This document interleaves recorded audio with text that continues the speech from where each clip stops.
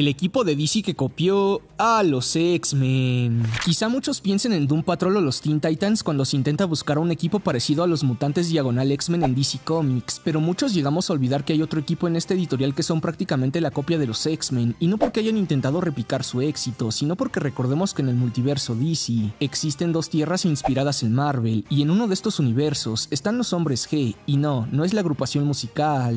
Este equipo proviene de Tierra 8 y son prácticamente copias o parodias de cada uno de los X-Men originales, incluso usan uniformes solo que en color verde con negro en lugar de amarillo con azul. Inicialmente la agrupación sería presentada como Zenmen, pero en la guía del multiverso serían renombrados como G-Men, aunque si no estoy mal, creo que actualmente ya les regresaron el nombre original, pero corríjanme si me equivoco. Ahora, sobre su historia realmente no se sabe mucho, pero su creador, Grant Morrison, sí nos dio un poco de contexto de los G-Men. Son una raza de superpersonas modificadas genéticamente criadas bajo un código moral altruista, pero serían traicionados y abandonados por sus creadores. Con el tiempo este equipo se fue convirtiendo en un grupo de nehumanos marginados por la sociedad. Esta suerte de X-Men también cuentan con una mansión donde reciben a jóvenes con superhabilidades. El equipo en un principio fue reunido y liderado por Dr. Diehard, quien es el magneto de DC. En Tierra 8 este personaje era bueno, pero al viajar a la Tierra Prime se convirtió en villano. La agrupación la conforman Wind Rider, Tormenta, Nightcrawler, Nightcrawler y Centaur, Cyclops. El resto del equipo son homólogos de Jean Grey, Colossus,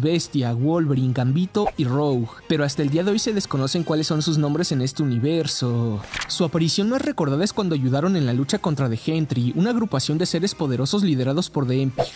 Además han llegado a colaborar con los Retilators, los vengadores de este universo. Algo curioso es que en el universo de The Voice, la parodia de los X-Men también es conocida como G-Men, pero como era de esperarse son versiones mucho menos idealistas. Cuéntenme, ¿ya conocían a los X-Men de DC? Bye.